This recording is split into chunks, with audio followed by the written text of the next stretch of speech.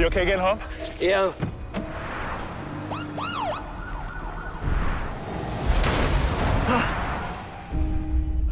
I have to go. I can't stay.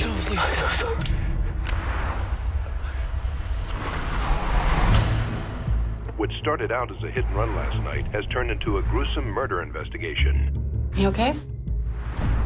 He's staring down 20 to life for this one alone. This one. You think this guy's a serial killer? You gonna be my prosecutor? Yes, I am. I didn't do anything. I'm innocent. I left work, went for a drive. Don't you ever go out and drive around at night? In a surprise twist of events, the prosecution ended its case against Clinton Davis. What's bothering you, Mitch? If I could explain this, I would. So what happens now with the hit and run driver?